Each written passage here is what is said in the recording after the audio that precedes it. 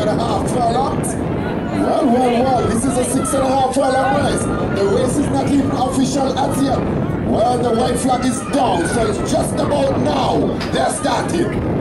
And as they come up the hill now, I can see Prem Lyman. He is on um, Tiedentwine. Big every time he's there with Dwight Fism and Jacobs on board. Sean Hanley is there and Sheik Sung as they turn to come across the grandstand now. Tiedentwine. The lost tables. And and Sheik Sung as they come on. These two horses on the ground are making the double run. And so as they go around the turn out of the Outlaw stable. That's Bigeverytime. Here comes Tiny Klein out of Lion to the game stable. Shoots out of the good boy stable. As they go across the back sets now. Here's where everything is going to be straightened up. Here comes Outlaw. Every time is in the lead. Tiny Twine is there.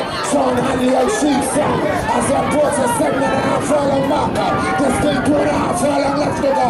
Who is to take it? Dwight Gentleman Jacobs is at the front on big every time. Brem Liburd, he's on in twine in second place. Here comes Sean Hanley and Sheik Sam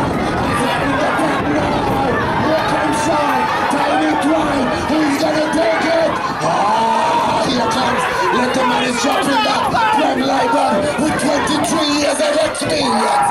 Pulling out. Why he's the number one jockey. Here comes Brem Liburd.